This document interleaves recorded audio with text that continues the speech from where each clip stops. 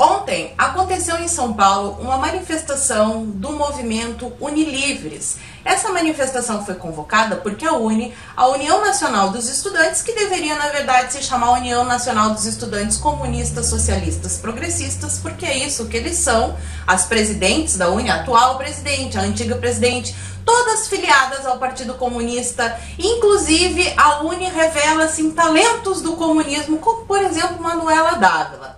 Mas essa manifestação aconteceu porque a UNE manifestou nas suas redes sociais apoio ao regime ditatorial de Maduro. Sim, o regime ditatorial de Maduro que mata estudantes que protestam contra o governo o que é um baita contrassenso, porque se essas manifestações da UNE fossem lá na Venezuela contra o Maduro, o Maduro ia matar todos eles. E eles estão apoiando o Maduro, são as, as incoerências do movimento esquerdista. Pois bem, mais uma incoerência aconteceu. Dá uma olhadinha. Vai pegar nada, pega a bandeira aí.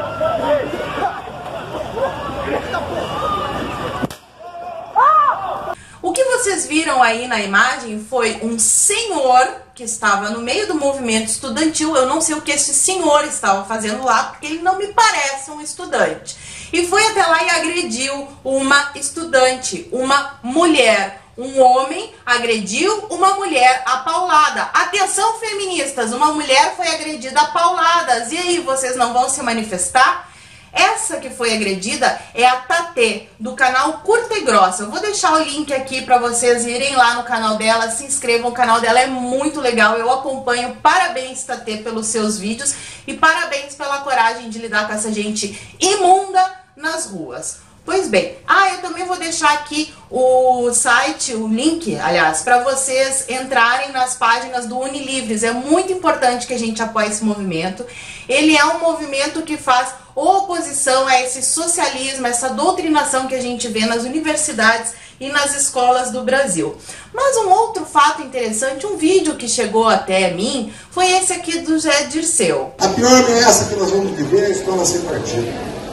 E a cultura e a educação é onde estão as mentes e os corações. E ele não tem controle sobre isso, como ele tem sobre o aparato policial, tem sobre o Congresso bem o que, que o Zé Dirceu falou, que o maior inimigo deles, o maior inimigo do comunismo, do socialismo, é o projeto de lei Escola Sem Partido, porque segundo ele, ele mesmo falou, ele já entendeu isso. A cultura e a educação domina a mente e os corações dos jovens. E é assim que eles conseguem angariar pessoas para os seus movimentos colocando o marxismo cultural na cabeça dessas pessoas desde a mais tenra idade, porque assim elas crescem com esses vícios e fica cada vez mais difícil de abrir os olhos das pessoas. Inclusive, muitos de nós que já conseguimos entender ainda temos vícios, porque quando estudávamos, quando éramos pequenos, fomos doutrinados por todos os meios pela televisão,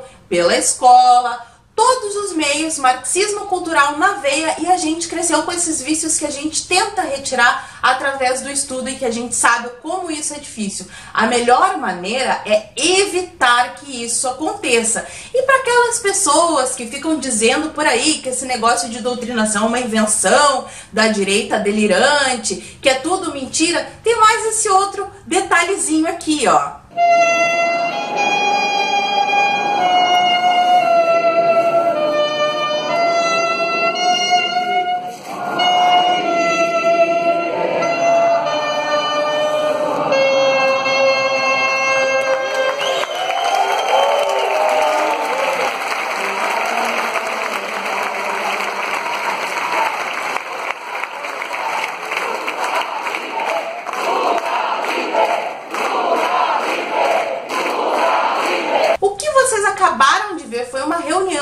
Professores, um congresso de professores, onde eles estão cantando o hino da União das Repúblicas Socialistas Soviéticas. Se isso não é comunismo, me expliquem, por favor, o que mais pode ser comunismo? Gritando Lula livre. Os professores são sim doutrinadores e muitos deles não têm nem a consciência de que estão fazendo isso porque eles já foram doutrinados, são doutrinados doutrinando pessoas. Eles não conseguem enxergar, eles acham que esse é o modo de dar aulas, que fazer conversa de botequim na escola é esclarecer os alunos. Eles não conseguem compreender. E eu vejo também muitas pessoas aqui no meu canal, em outros canais conservadores, quando a gente mostra as incoerências de youtubers famosos como Kéfera, Felipe Neto, Cauê Moura e todos esses grandes youtubers que estão sim inoculando o marxismo cultural nos seus inscritos, muitas vezes sem saber porque pobrezinhos são ignorantes e não estudam o assunto,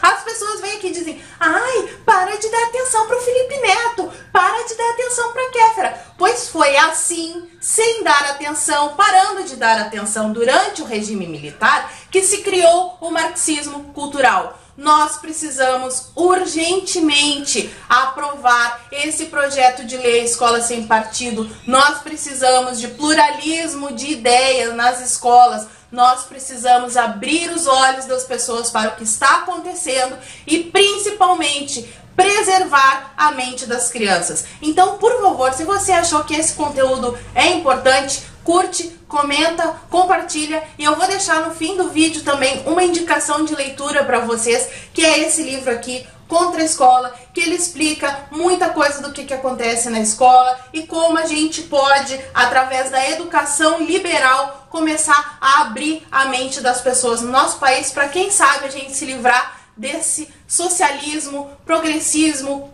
marxismo, comunismo que está arraigado na mente dos brasileiros.